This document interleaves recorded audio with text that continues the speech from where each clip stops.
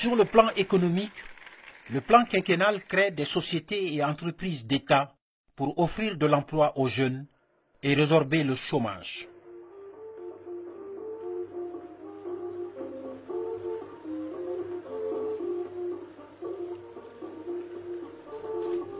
La Comatex de Ségou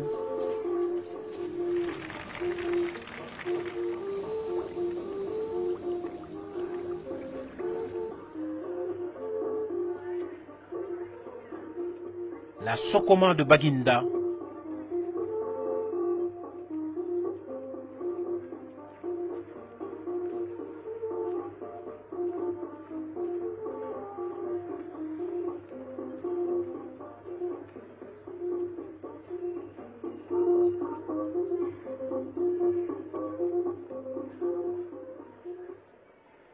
les huileries de Koulikoro,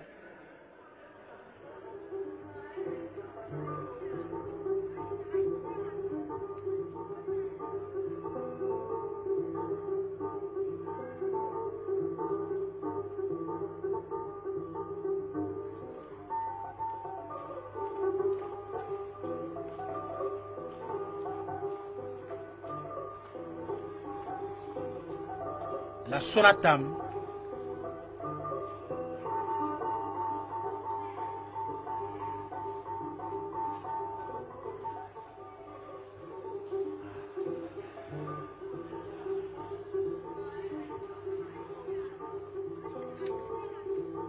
la Sokoram,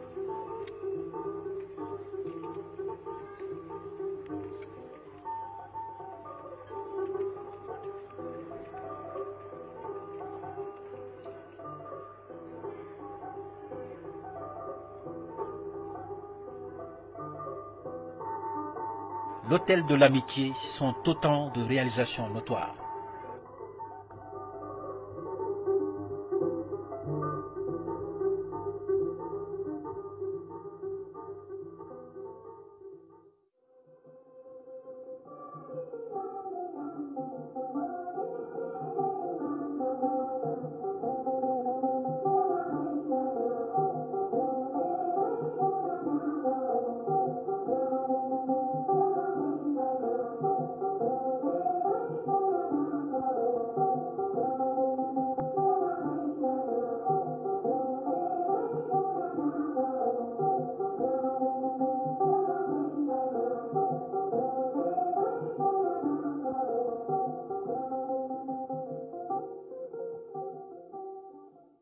La jeunesse est aussi mobilisée pour des investissements humains, comme la cueillette du coton à Fana par les lycéennes,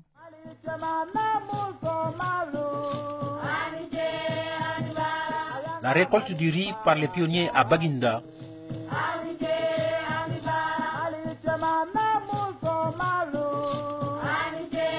la confection des briques pour les populations du Kulikoro sinistrées par la crue du Niger.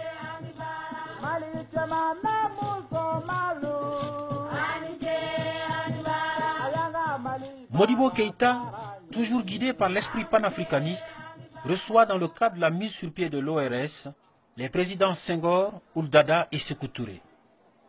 Cependant, des difficultés existent dans le pays.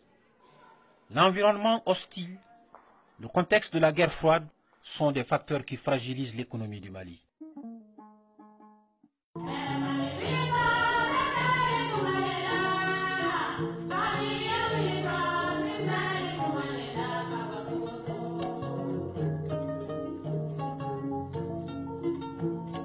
Dans le domaine des transports, le Mali s'équipe d'avions de marque Ilyushin et Antonov et crée la compagnie Air Mali.